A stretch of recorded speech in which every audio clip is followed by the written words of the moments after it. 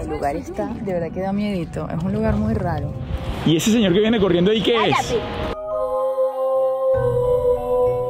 Llegamos a este sitio, es un sitio bastante, bastante loco, la verdad. Es un sitio como que no te lo imaginas. Un sitio de películas de terror de esas gringas locas, así que tú dices te van a matar. Mira, hay unos niños allá muertos.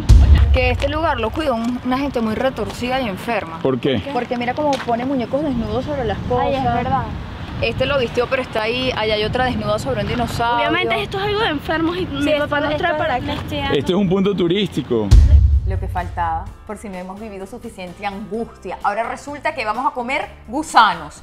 Conmigo no cuenten. Toma.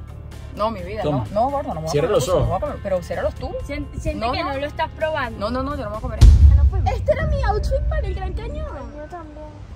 Y me maquillé para el Gran Cañón. Yo, no me maquillé para.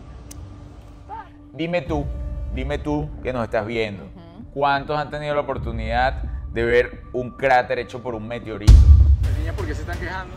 Porque se suponía que íbamos al Gran Cañón y yo me arreglé para ir al Gran Cañón. Y ver restos de un meteorito real. Dígame si esta parada no es interesantísima. ¿Y que ¿Y ese outfit es solo de Gran Cañón? Exacto, me hubiera puesto cualquier cosa, no me maquillaba tanto.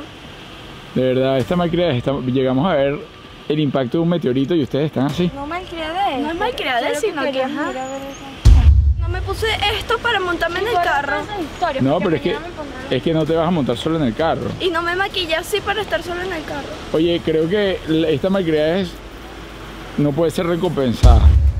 Desde este punto en adelante y desde este punto para atrás, se van a dar cuenta que estas niñas no van a disfrutar nada. Arturo ni yo estamos yendo tampoco y no estamos a lloradera. Sí, pero no, no se hicieron sus outfits. No, aquí todos somos adultos y tenemos que asumir nuestras cosas. No se llega y no se llega, punto. Se va mañana. Ustedes no tienen Ya tres no, años. ya no.